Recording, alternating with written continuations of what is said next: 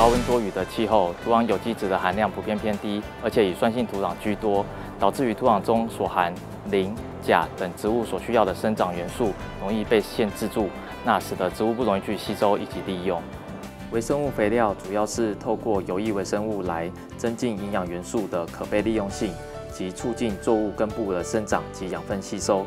来提升肥料的效果。我们目前研发出微生物肥料用的 Bacillus vanensis KHH 十三菌株，是从水稻有机填土中分离出来的。它除了可以产生淀粉分解酵素、蛋白分解酵素和纤维分解酵素之外，还具有相当良好的溶磷活性。在经过对小白菜、油菜等叶菜类以及胡瓜和番茄的肥效试验之后，结果证实施用 KHH 十三抑剂。可对前述作物的根长以及鲜重有显著的提升，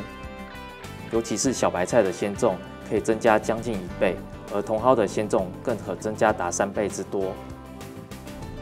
希望透过 KH 三微生物肥料研发成果的导入，去逐步调整农友的施肥习惯，让微生物肥料能够普遍的应用在农业生产之中，维护土壤的肥力，并且减少化学农药的使用，培养一个良好的生产环境，让农业能够永续的发展。农业改良看台湾，我们在高雄区农业改良场为您服务。有任何问题，请记得跟我们联络。